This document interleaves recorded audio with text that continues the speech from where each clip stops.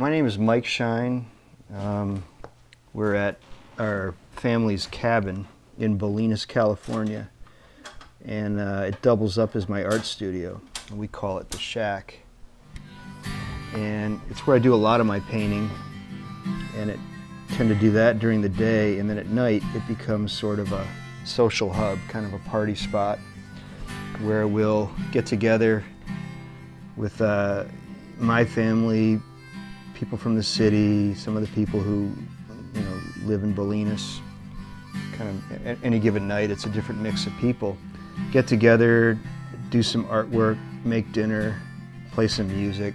Every night's different, but sometimes we'll do what we call the midnight swim, where we will just drop what we're doing and run down to the ocean. And the rule is you got to dive under, and then we run back, but instead of coming straight back to the cabin, we go by the saloon called Smiley's. We'll run back and sit by the fire. Some kids jump in the hot tub, etc. And anybody who just did the midnight swim for the first time gets the red cap, gets a red knit hat, and with their name in it. And they're, then they're the official member of the B team. And uh, we stole that from Wes Anderson, the Life Aquatic.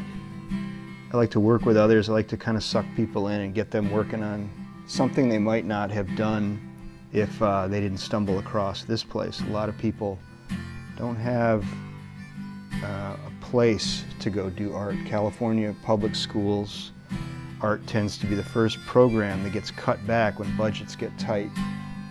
And um, all the more reason to have a place like this where kids, even adults, can come and you know, do something creative.